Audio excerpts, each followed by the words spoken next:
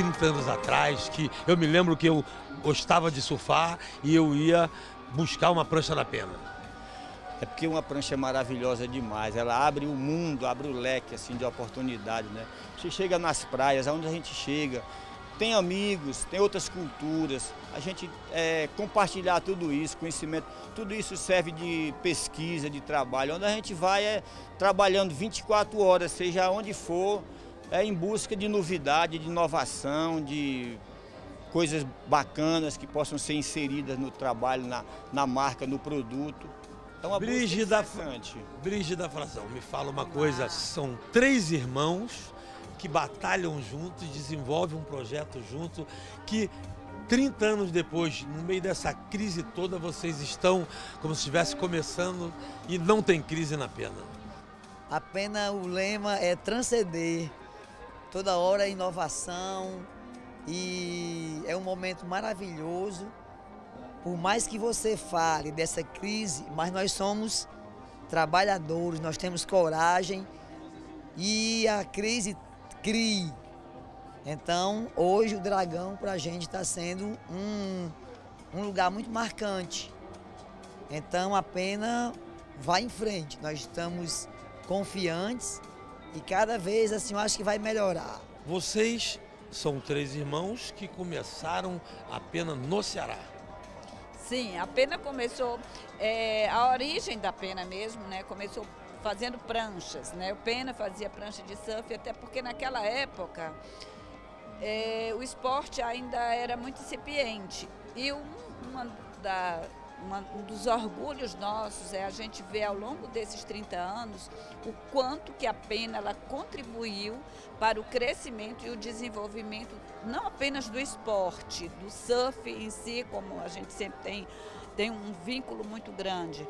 Mas a, a, a Pena sempre teve um compromisso de apoiar eventos, de patrocinar atletas. A, a gente tem hoje na nossa equipe, a gente tem assim um histórico de, de grandes nomes do esporte que já defenderam a bandeira, a camisa. Passa os nomes aí pra galera. Olha, a gente tem, se a gente falar assim, atualmente nós temos Isabela Souza, que é tricampeã, uma bodyboarder tricampeã, uma cearense aqui do Icaraí. Né? A gente tem Lucas Silveira, que está atualmente conosco, apenas já patrocinou Adriano de Souza, né? que foi campeão mundial no ano passado. Fora a gente falar de Tita Tavares, de vários outros atletas que já passaram pela pena, Dunga Neto, apenas sempre teve esse compromisso muito grande com o esporte aqui. Hoje a gente ainda tem mais, assim, André Silva, Cauã Costa.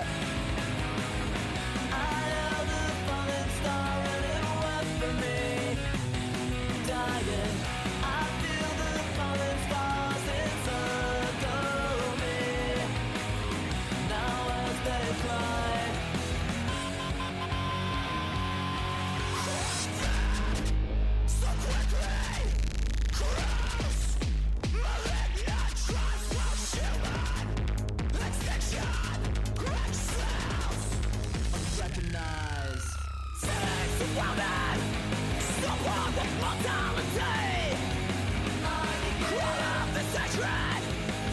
Fucking real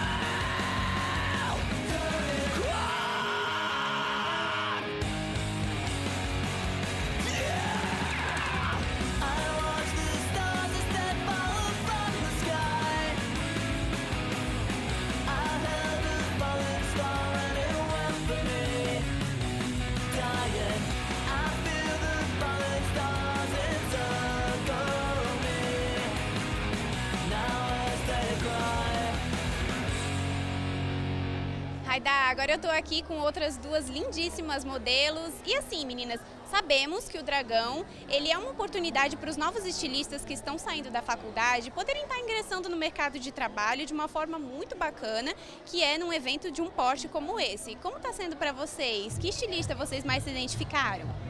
Está sendo maravilhoso, principalmente essa oportunidade no início da nossa carreira. Hoje eu, desfilei, eu tive a oportunidade de representar o Ceará no desfile da UFC foi maravilhoso, adorei todas as roupas, estavam muito boas, maravilhosas. E está sendo uma oportunidade bacana, porque um evento desse poste, para a gente que está iniciando a, a, carreira, é bem bacana, dá um, um gás na carreira, digamos assim. Hoje eu desfilei pela UNAMA, que ela está representando a Amazônia, e foi maravilhoso. Eles são descendentes de indígenas, e saber assim, da diversidade do nosso país foi maravilhoso nesse evento cearense, foi ótimo, e do Brasil também, né? Obrigada, meninas. Bom desfile para vocês e que vocês possam continuar brilhando nessa carreira ou no que vocês quiserem fazer.